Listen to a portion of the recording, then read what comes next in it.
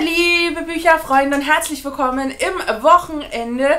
Und äh, ja, wir haben jetzt nur noch eine Woche zur Frankfurter Buchmesse und jo, wir sind alle in großer Vorfreude, denke ich zumindest, zumindest für die, die alle auch vorhaben, nach Frankfurt zu fahren. Sie wird ja jetzt, glaube ich, am Dienstag, Dienstag oder Montag äh, ja, eröffnet und ich freue mich unglaublich, dass es nächste Woche auf Reisen geht, dass es äh, in eine ganz tolle Stadt geht zu einer lieben Freundin und äh, ich dann auch liebe Menschen treffen werde, Autoren und äh, tolle Bücher und einen ganzen Tag umgeben von Büchern sein werde. Das ist natürlich das mit Oberhighlight. Äh, ja, dazu natürlich später ein bisschen mehr. Ich habe zwei Bücher die Woche gelesen. Wir haben gestern beendet die zwölf von Justin Cronin. Haben wir ja zwei Wochen äh, dran gelesen, uns vorbereitet für den dritten Teil, die Spiegelstadt, der ja dann Ende Oktober erscheinen wird, den wir auch im November zusammen lesen wollen. Und als zweites habe ich gelesen, die, das, ein, nein, ein Herz, das Herz, ach, ich habe es nicht mit dem Titel, ach, ohne, äh, ja, Herz aus Nacht und Scherben von Gesa Schwarz äh, habe ich als E-Book äh, vom Verlag zur Verfügung gestellt bekommen. Hatte ich begonnen mit der lieben Lena zu lesen. Allerdings ist sie dann krank geworden und da war es dann nicht mehr so mit Lesen. Liebe Lena, ich hoffe, du bist nächste Woche zur Buchmesse wieder fit und dabei und gesund und äh, ja, weiterhin gute Besserung äh, von mir. Und ja, eigentlich wollten wir, glaube ich, sogar noch heute lesen. Ich habe es dann aber gestern gar verschlungen und ähm, ja, gestern gelesen. In diesem Sinne. Dann äh, ein bisschen was über Scream. Die suchte ich ja noch in dieser Woche. Aber ich wollte jetzt eigentlich mit der zweiten Staffel fertig werden. Ich habe jetzt aber, glaube ich, nur zwei oder drei Folgen.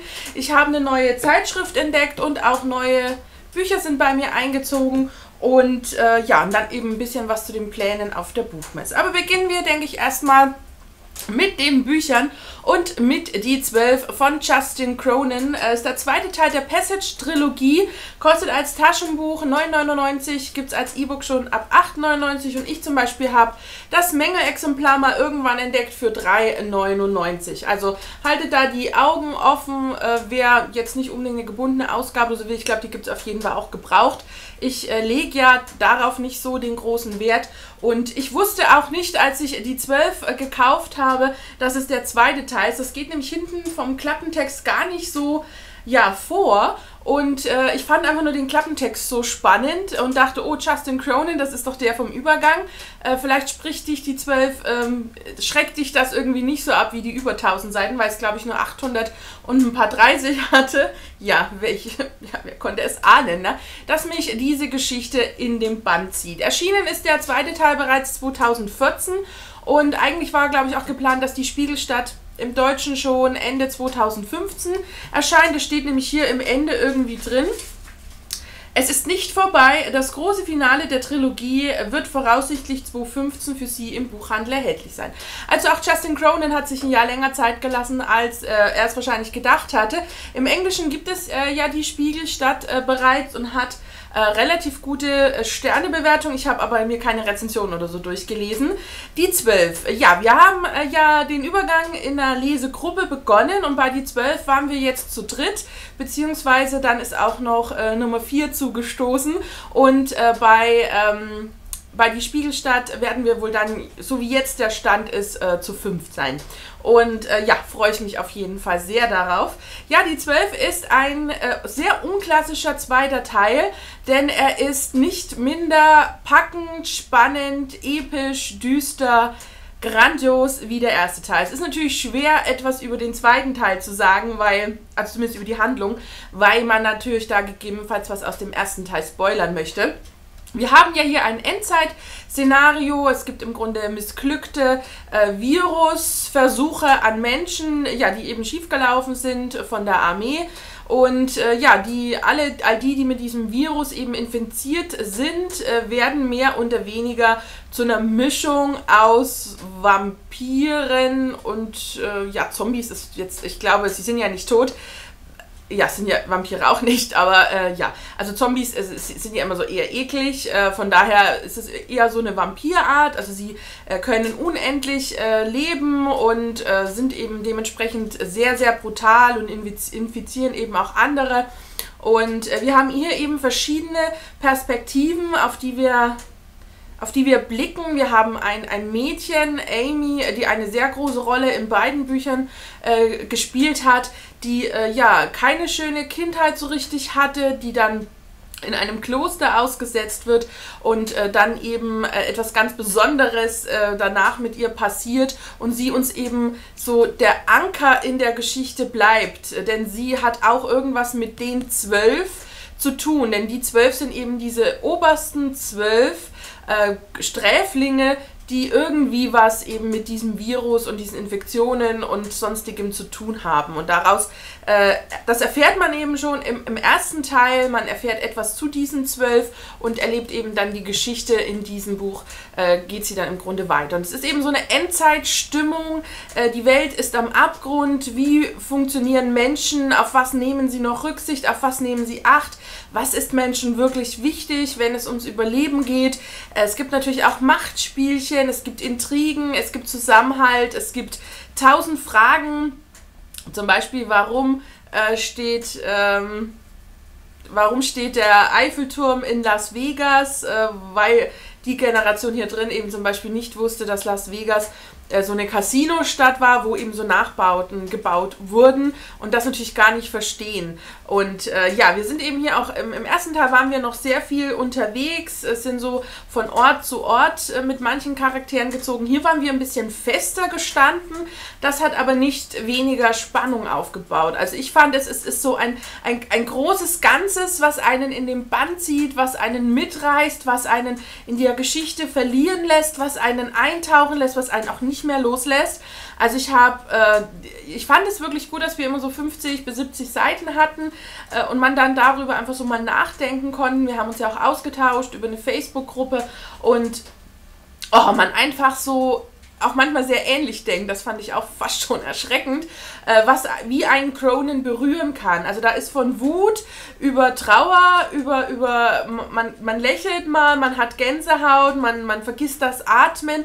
Es ist so alles dabei und es kommt so Schlag auf Schlag. Und der zweite Teil war um einige schneller vom Stile her als der erste, was ich aber nicht schlecht fand. Und das ist eben genau das, dass er, der erste hat einen so reingeworfen in die Geschichte und man denkt sich nach über 1000 Seiten, was schon vorbei. Und dann kommen hier ein bisschen was über 800 und nimm, nehmen einen wieder mit, nehmen einen in Beschlag.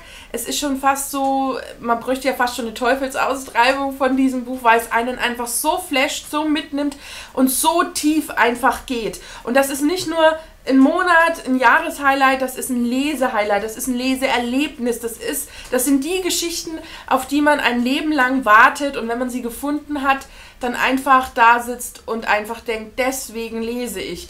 Und das ist für mich wirklich diese Reihe. Ich fand den zweiten Teil genauso grandios wie den ersten. Er war natürlich anders, aber er war überhaupt nicht schlecht, er war überhaupt nicht langweilig. Er hat ähm, irgendwie sein eigenes Ende von diesem Handlungsstrang, der da aufgebaut wird. Und er hat natürlich einen leichten Cliffhanger, sodass man natürlich wissen will, wie geht's weiter.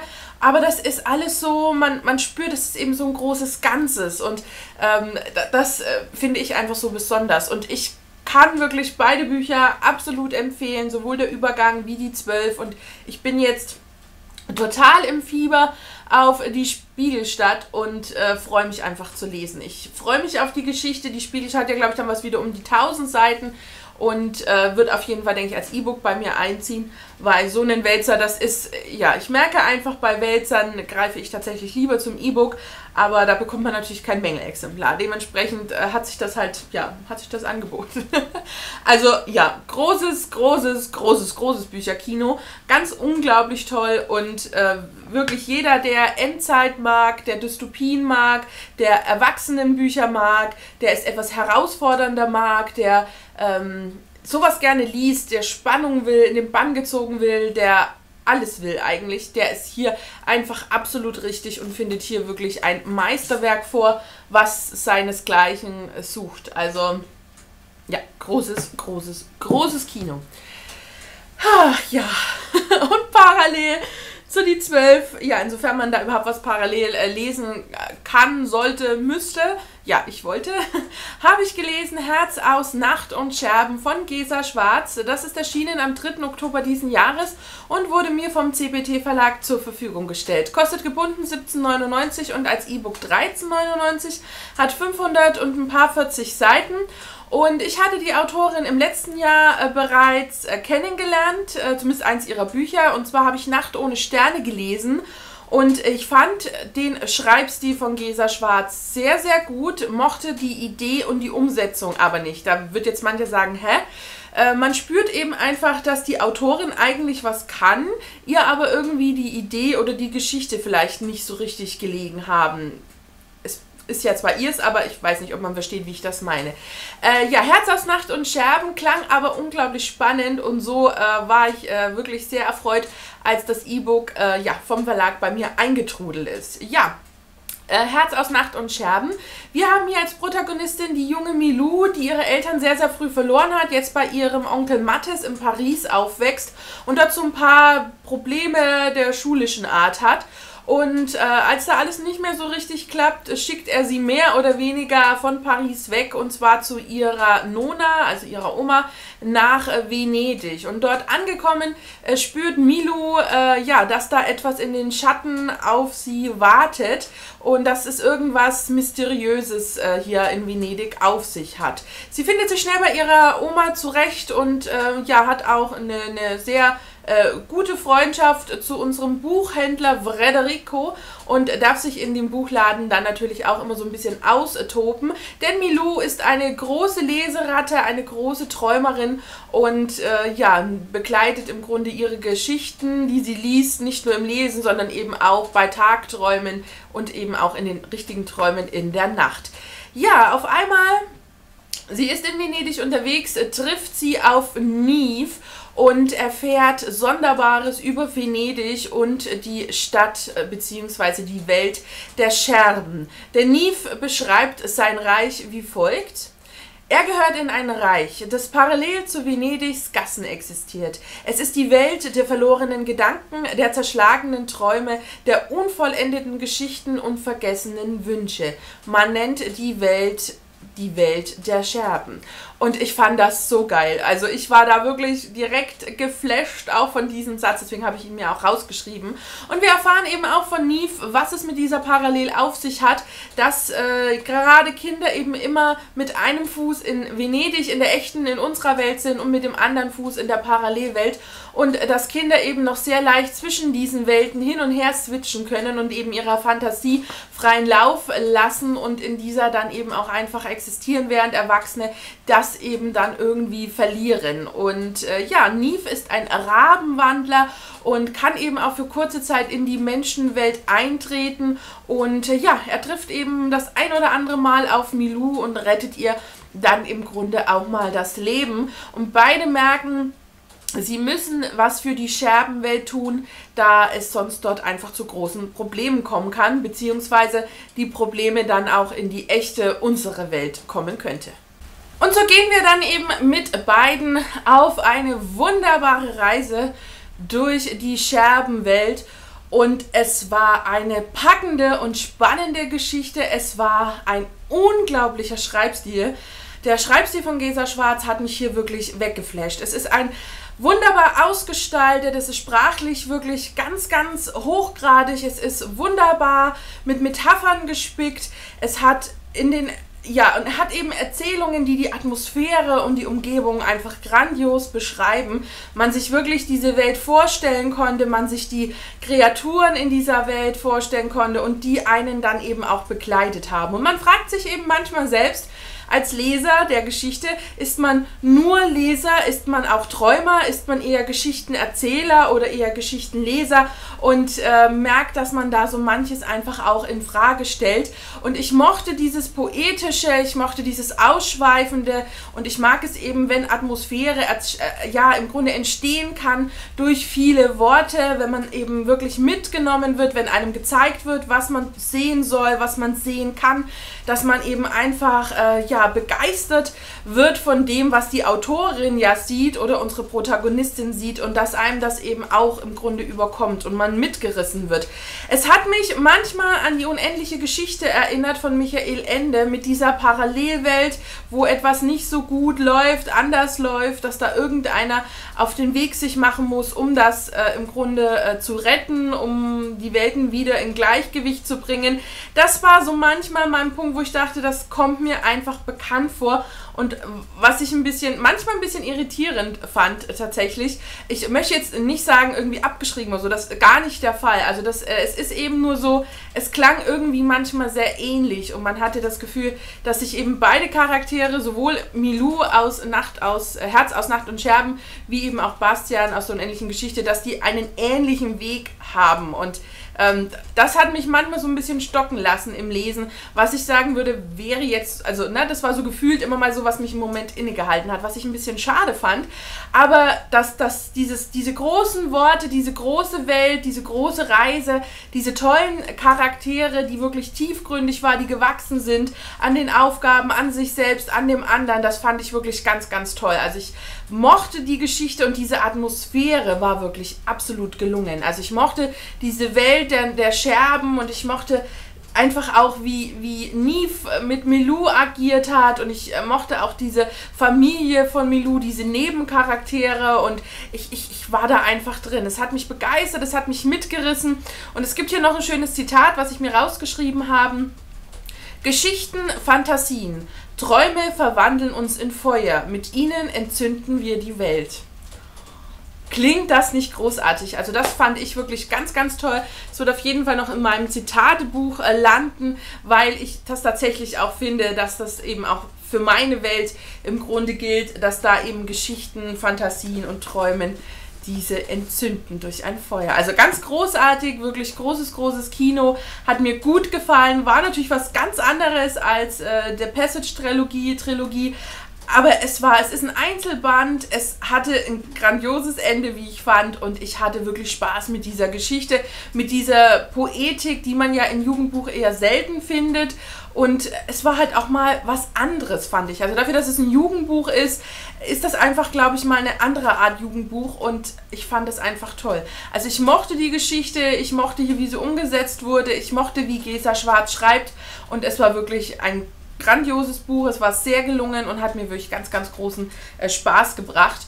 Und ähm, ja, vielleicht den ein oder anderen von euch auch. Und dann gab es in dieser Woche auch ein bisschen was an äh, Neuzugängen und äh, ja, ich äh, war sehr überrascht über die Neuzugänge, beziehungsweise über das eine, bei dem anderen wusste ich, dass es kommen wird. Mich hat ein überraschender Neuzugang, auch ein unangefragter Neuzugang erreicht und zwar von Susanne Rehlein, Lucy Schröders Gesammelte Wahrheiten. Ein sehr mysteriöses, merkwürdiges Cover, wie ich finde, aus dem Dumont Verlag. Und ähm, ich muss ehrlich sagen, ich weiß gar nicht, ob das was für mich ist. Also der Klappentext klingt irgendwie mysteriös, merkwürdig. Ich weiß nicht, mich hätte das Cover nie angesprochen. Also ich äh, weiß nicht, was man sich bei diesem Quietschgelb äh, so gedacht hat. Und es heißt hier hinten, eine Heldin wider Willen, ein marodes Kaufhaus und das Orakel des fahlen Fisches.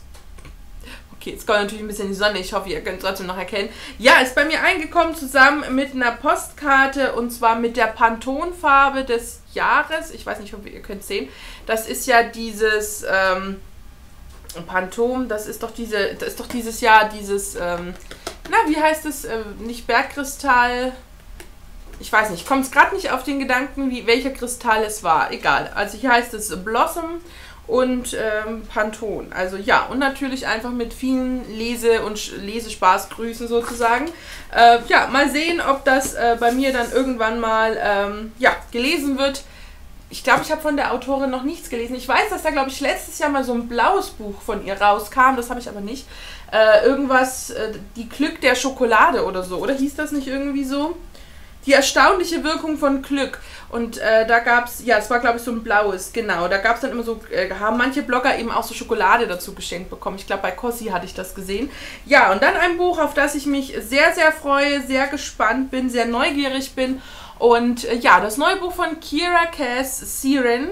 Und äh, das ist eben Fischer Verlag erschienen und ich freue mich da wirklich sehr. Also nicht nur ein bombastisches äh, Cover, auch wieder die Rück, der, der Buchrücken sehr schön und die Rückseite ganz toll. Das ist eben so eine broschierte Ausgabe und ähm, ja, das war ja, also ist ja die Autorin der Selection-Reihe, wo ich ja den ersten Teil wirklich äh, grandios fand.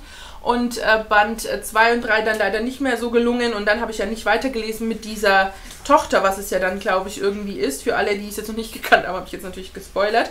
Und ich, soweit ich es gelesen habe, war Siren das eigentliche erste Buch von Kira Cass. Äh, bin ich einfach mal sehr gespannt, äh, wie es mir gefällt. Vom Cover sind sie sich natürlich schon treu geblieben. Man hat wieder diese Frau mit diesem wunderschönen Kleid und äh, dann hat man eben ein bisschen mehr reingezaubert, damit es eben den Anschein von Sirenen bekommt. Und äh, ja, sie ist unsterblich, ihr Leben gehört dem Meer, doch ihr Herz gehört einem Menschen.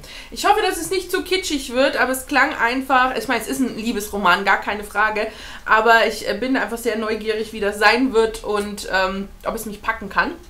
Und ich glaube fast schon. Also ich finde, das optisch ist das ja schon ein Highlight. Und nach all der Düsternis der letzten Tage tut mir vielleicht ein Liebesroman auch gar nicht mal so schlecht. Ja, das äh, muss man ja glatt äh, mal so sagen. Dann ist bei mir auch ein neues Magazin eingezogen, äh, auf das mich äh, die liebe Yvonne gebracht hat über äh, Instagram. Und zwar Project Calm Mindfulness Through Making. Also ja, wieder ein Mind-Magazin, was eben so in Richtung äh, Flow geht, Happiness, ähm, wie sie alle heißen. Und äh, hier vorne drauf hat man eben auch einen Spiegel. Und das ist ganz, also wirklich sehr, sehr schön gestaltet, wie ich finde. Äh, und äh, ja, es heißt eben hier äh, Project Calm, es soll zum Nachdenken anregen, zum Umdenken und Neudenken. Und es ist eben auch viel Kreatives enthalten. Also wir haben hier zum Beispiel auch einen... Ähm, also sehr schöne Bilder, dann eben auch so eine Art äh, Scherenschnitt, eben einen Spruch, den man dann eben auch selbst ausschneiden kann. Ich weiß nicht, ob ihr das sehen könnt. Und dann eben zum Beispiel auf diese Seite drauflegen kann und das dann einrahmen kann. Also finde ich sehr, sehr schön. Ähm, ja, ich bin da wirklich äh, sehr angetan bisher. Auch die Artikel fand ich sehr interessant. Und wer sich eben mit dem Thema äh, so innere Balance, ähm, ja, im Grunde auch so, ja, eben so dieses Ankommen, Bleiben, im Jetzt sein und äh, ja, im Grunde mit dieser Achtsamkeit sich auch ein bisschen äh, beschäftigt, äh, der ähm, ja, wird hier seinen Spaß haben. Es gibt hier zum Beispiel auch ähm, Origami, ist was zum Falten mit dabei. Ich glaube, ein Teddybär und ein, ähm, was war das andere? Ein, ein Teddybär und ein, ja, ich bin, ich bin einfach vergesslich. Ich kann mir da zurzeit, ich kann mir das nicht merken, ein Elefant. Und äh, die äh, kann man falten und dann eben, ich weiß nicht, ob ihr sehen könnt, und äh, ich glaube, es ist auf der Seite, ne? Und dann eben auch an die Wand so hängen als 3D-Bild. Seht ihr das so ein bisschen, wie ich das meine? Ich hoffe. Also da bin ich auch sehr gespannt und freue ich mich sehr drauf. Also ich bin ja auch ein Bastler. Von daher bin ich sehr gespannt auf das Magazin und äh, freue mich, dass ich die entdeckt habe. Und äh, ja, Instagram made me buy it. Na, das ist äh, definitiv einfach so. Ja, dann ein bisschen was zu Scream. Ich bin jetzt in der zweiten Staffel. Ich glaube, Folge 9 habe ich äh, heute früh ein bisschen noch reingeguckt während des Aufstehens. Man sollte das nicht beim Frühstück tun, äh, denn sie wird klar. Also in der zweiten Staffel ist sie wirklich sehr, sehr brutal und teilweise sehr eklig. Also ja, ich, ich fand ja die erste, erste Staffel war ja noch irgendwie unterhaltend und so ein bisschen eben auf 90er gemacht. Das ist nach wie vor der Fall. Und irgendwie jugendlicher und leichter Horror, würde ich sagen. Also Horror, gut, ist vielleicht sogar zu viel zu sagen. Es war eigentlich nicht immer gruselig, es war manchmal auch eher lustig. Ungewollt lustig. Äh, und bei der zweiten Staffel, finde ich jetzt wirklich, ist die Brutalität unglaublich hochgegangen und es wird einem auch noch alles so gezeigt. Und wenn man da beim Frühstück bei seinen Cornflakes sitzt, während irgendwem die Hand abgeschnitten wird, da braucht man nichts mehr. Also geht zumindest mir so. Ich weiß, manche stecken das bestimmt locker weg und sagen jetzt, ach Steffi, was stellst du dich so an? Oder man könnte sich auch fragen, Steffi, warum guckst du das beim Frühstück?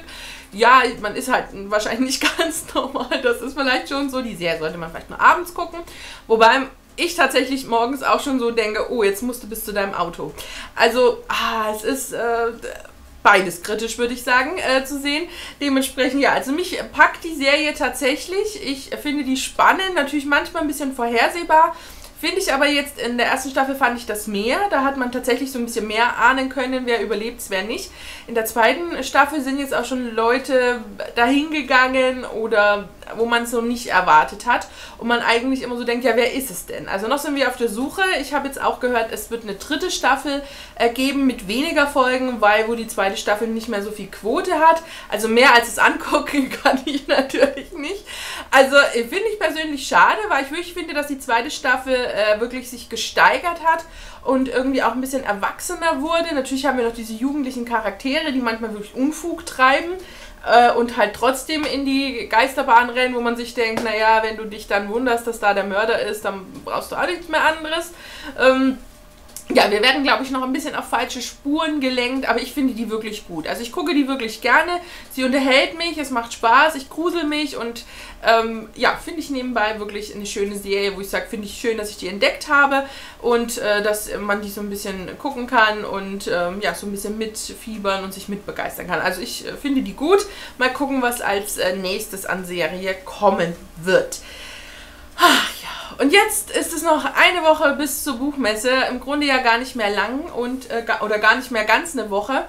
Ähm, weil es ja schon Freitag für mich losgeht. Ja, so ein bisschen die, die Pläne auf der Frankfurter Buchmesse. Also ich werde äh, dort sein am Freitag und am Sonntag. Und jetzt, wenn jeder sagt, Steffi, fährst du dazwischen heim? Nein, ich fahre natürlich nicht heim. Aber ich verbringe den Samstag komplett eben mit meiner Freundin, bei der ich ja auch äh, die zwei Nächte sozusagen übernachte, bei der ich netterweise eingeladen bin. Und äh, ich freue mich da auch sehr, sie einfach zu sehen. Und wir wollen eben die Tage nicht nur auf der Messe verbringen, sondern wir wollen natürlich auch uns einfach, ähm, wenn wir uns nur ein, zwei Mal im Jahr sehen, wollen wir natürlich auch was ein bisschen voneinander haben. Und dementsprechend äh, werde ich Freitag anreisen, werde so um halb zehn ungefähr in, in Frankfurt sein. Es geht bei mir hier um halb sechs schon los. Also es ist um vier Uhr aufstehen, es ist schon heavy, aber man fährt ja zum Glück Zug, ne? Man muss sich da ja auf nichts groß äh, konzentrieren, sondern äh, nimmt den Zug und das ist ja auch ganz gut so. Und äh, ja, werde dann im Zug sitzen, habe zum Glück nur einen Umsteiger, was ich wirklich gut finde, weil man mit dem riesen Koffer, den ich nicht mitnehme, weil ich so viel brauche, sondern ich ja vorhabe auch ein bisschen äh, was mitzunehmen. Keine Bücher werde ich nicht groß äh, was heimbringen, da nehme ich tatsächlich welche mit, aber dazu später.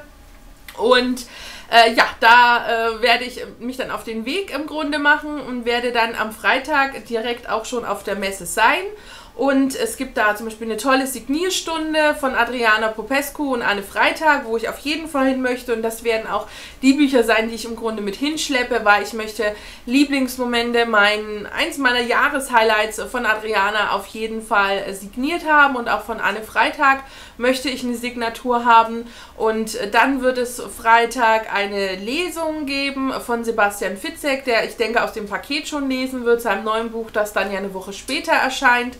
Und da freue ich mich auch sehr drauf. Und abends geht es dann zum Autorensofa. Das ist ein Blogger-Autorentreffen.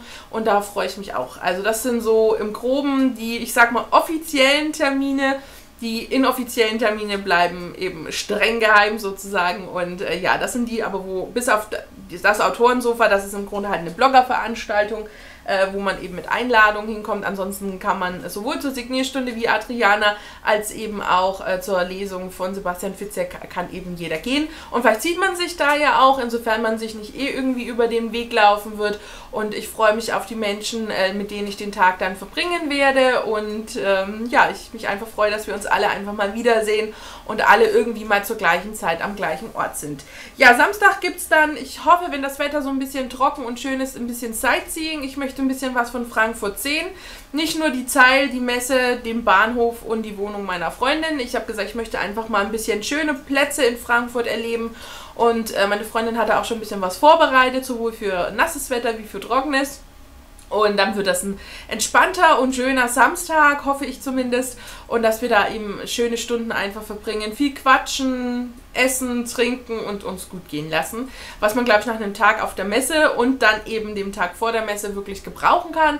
Denn am Sonntag geht es dann eben gemeinsam mit meiner Freundin auf die Messe. Und äh, das ist halt dann das, weswegen wir ja im Grunde uns beide dann auch dieses Wochenende aussuchen, damit wir eine nette Begleitung auf der Messe haben. Und Sonntag ist noch relativ ungeplant. Es gibt ja dieses Booktuber-Blogger-Treffen, ich glaube um 13 Uhr wieder bei diesen Rolltreppen äh, in Halle 3.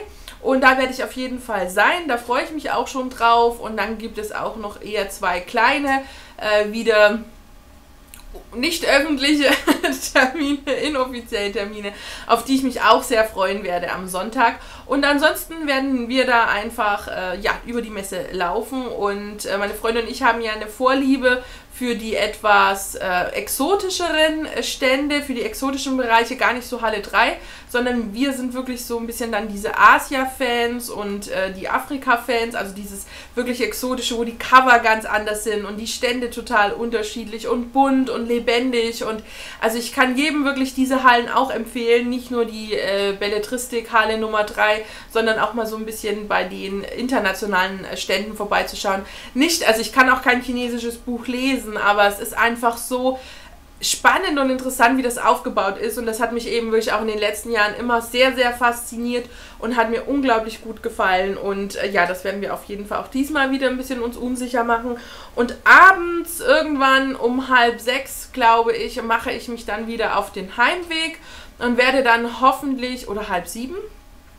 Ich glaube sogar halb sieben rechne mal, ja, weil ich dann, glaube ich, gegen 11 Uhr nachts äh, zu Hause sein werde. Auch nur ein Umsteiger zum Glück und ich hoffe, dass die Bahn äh, nicht äh, irgendwie in Verspätung gerät, sodass ich noch nach Hause komme. Ich glaube, vor zwei Jahren war es ja eine halbe Stunde Verspätung und ich äh, musste, der Zug in Nürnberg musste dann auf mich tatsächlich 20 Minuten warten, weil es sonst keine Verbindung mehr nach Hause gegeben hätte und man mir ein Taxi hätte bezahlen müssen. Und so mussten leider alle im Nürnberger Zug ähm, ja, auf mich warten. Das fand ich sehr unangenehm. Aber äh, ja, ich kann ja eigentlich nichts dafür. Ne? Ich saß ja im richtigen Zug. Ich hätte auch ein Taxi genommen, also ich wäre da frei gewesen.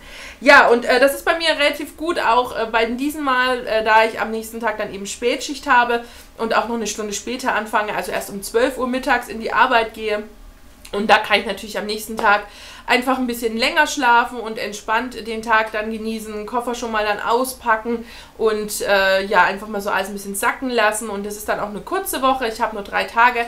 Und äh, ja, habe dann eben äh, zwei Tage Urlaub, also ein ganz langes Wochenende, weil ich dann erst am 1. November wieder auf Arbeit gehe. Also ich habe dann fünf Tage am Stück frei, aber das ist erst in zwei Wochen. Und äh, ja, aber da, ne, das ist vom, vom, vom, vom, vom Geplanten sozusagen diesmal eigentlich ganz gut.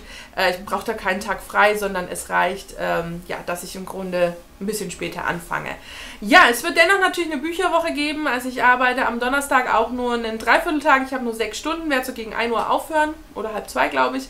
Und äh, werde dann natürlich ein bisschen einkaufen gehen, brauche ein bisschen was äh, an Getränken und sonstigem für die Reise und äh, werde dann auf jeden Fall die Bücherwoche am Donnerstag drehen, rendern und dann auch direkt für den Samstag äh, geplant hochladen, sodass alle die, die leider nicht auf der Messe sein können, natürlich die Bücherwoche genießen können.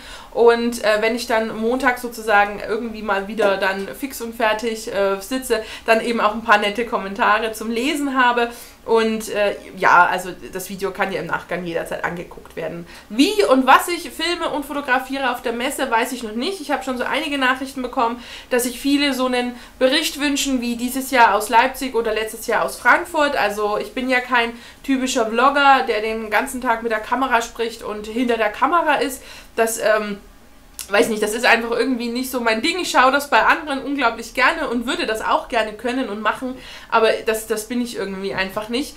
Dementsprechend äh, mal gucken. Also es wird auf jeden Fall Fotos geben. Ich äh, habe ja auch immer mal zwischendrin gefilmt und ich denke, dass das dieses Jahr einfach ähnlich wird und da ich ja auch dann zwei Tage diesmal auf der Messe bin und ich denke gerade am Pressetag noch, am Freitag vielleicht nicht so viel los ist wie an einem Samstag oder an einem Sonntag, kann man vielleicht ein paar Einträge äh, rüberbringen und ich, äh, ja, es wird auf jeden Fall ein Video geben, aber dann vermutlich erst ähm, ja, die Woche drauf natürlich. Also das ist, ich werde dann nicht Montag, Dienstag schon direkt dazu kommen. Ich werde mal gucken, wie ich da einfach Zeit habe und es dann auch hochlade. Aber ja, da könnt ihr euch auf jeden Fall drauf freuen. Es wird was geben, was und wie und wie viel, äh, weiß ich wirklich noch nicht. Das ist bei mir halt immer sehr spontan und ähm, ja, dementsprechend ähm, müssen wir uns da alle einfach mal gedulden, was, was die Steffi der Zukunft sozusagen da macht. Ja, und das war es im Großen und Ganzen auch schon äh, zu dieser Woche. Ich freue mich jetzt wirklich unglaublich auf Frankfurt und bin total gespannt auf die wunderbaren Tage dort. Und die werden ja tatsächlich ein bisschen anders, als sie sonst immer waren, weil sonst war ich ja immer nur zwei Tage dort oder auch mal nur eineinhalb und äh, na, wirklich nur Messe und ein bisschen Shopping. Und ich freue mich wirklich, dass es dieses Jahr auch noch ein bisschen was anderes gibt und es eben auch diesen Pressetag äh, geben wird, an dem ich auf der Messe sein würde. Es ist ja das erste Mal, äh, dass ich auch an, also an so einem Pressetag unterwegs sein werde. Ich war zwar auch, glaube ich, schon letztes Jahr und auch vor zwei Jahren, glaube ich, schon Presse in Frankfurt, aber eben trotzdem immer am Wochenende. Und ich bin einfach neugierig wie die Atmosphäre ist, äh, wenn ähm, vielleicht wirklich einfach so, also ausgewähltes Publikum klingt immer so blöd, aber wenn eben nicht die Massen an, an, an, an, an, an an Menschen sozusagen. Also ich hoffe, dass nicht die Ansammlung an Menschen ist wie letztes Jahr Samstag, das war wirklich heavy. Also es ist dieses entspanntere vielleicht durchlaufen, erhoffe ich mir eigentlich davon und bin da einfach sehr, sehr neugierig und freue mich auf meine Termine, auf die Menschen, die ich treffe und auch für jeden, der das Video jetzt sieht und auch auf der Messe ist, kommt bitte immer gerne her, sagt Hallo und äh, lasst uns da einfach einen kurzen Austausch machen. Kommt zu dem Booktuber-Treffen, es freuen sich, glaube ich, alle, die da dort sind. Umso mehr, umso lustiger und man kommt so selten einfach zusammen und man sollte einfach die Gunst der Stunde nutzen und da einfach gemeinsam Spaß haben und ähm, ja, dementsprechend ähm, Habt keine Scheu, habt keine Angst. Rechnet nicht damit, dass, da spreche ich glaube für alle Booktuber, dass wir euch als Zuschauer erkennen. Das wird wirklich schwer. Auch wenn ihr ein kleines Profilbild bei den Kommentaren habt, das ist immer was anderes, ob ihr uns so agierend mit ne, vor euch seht, als wir wirklich nur Leute auf einem Foto kennen. Also äh, sagt nicht, ja, du hast mich ja nicht gegrüßt, du hast mich nicht gesehen. Also bitte kommt, sagt Hallo. Und ich glaube, wir freuen uns alle, wenn wir da wunderbaren Austausch haben, tolle Menschen treffen und einfach ein geiles Wochenende haben. Und äh, ja, ich freue mich. Also ich freue mich wirklich, denn die Messen und äh, das ist ja immer so, man, man ist dann irgendwie echt. Ne? Also wenn man dann eben auch Leute trifft, die man sonst nur hinter der Kamera kennt oder ja, eben auch Autoren, dann einfach mal mit denen ins Gespräch kommen. Das ist ja was, was mich immer sehr äh, motiviert, was mich sehr begeistert und auch wirklich tiefe Gedanken zurücklässt. Und ähm, ja, das ist, äh, ja, das ist immer, immer so meine Highlights. Ja, jetzt wünsche ich euch erstmal ein schönes Wochenende. Bei mir geht es jetzt zum Reifenwechsel. Mein Autolein bekommt äh, Winterreifen, äh, bevor dann vielleicht irgendwann mal Frost oder gar Schnee kommt was ich mir noch gar nicht vorstellen möchte. Aber die Starks sagen es ja schon immer, Winter is coming. Und äh, das wird auch in diesem Jahr der Fall sein. Und dementsprechend, da es dann die nächsten zwei Wochen bei mir nichts wird mit Reifen und dann halt schon November ist und es manchmal bei uns halt schon am 1. November geschneit hat, möchte ich vorbereitet sein. Da geht's eben, wird sich heute das, der Samstag ein bisschen ums Auto drehen, auch mal ein bisschen raussaugen, äh, neue Scheibenwischer ranmachen und äh, ja, eben die Winterreifen und die ich nicht selber aufziehe, sondern die natürlich in der Werkstatt äh, machen lasse. Und äh, ja, euch wünsche ich auf jeden Fall ein schönes Wochenende. Lasst es euch gut gehen, genießt die freien Tage und ich hoffe, ihr hattet Spaß mit meiner Bücherwoche. Freue mich sehr über Kommentare. Wünsche euch nun einen schönen Tag, einen schönen Abend und bis zum nächsten Video. Tschüss, eure Steffi.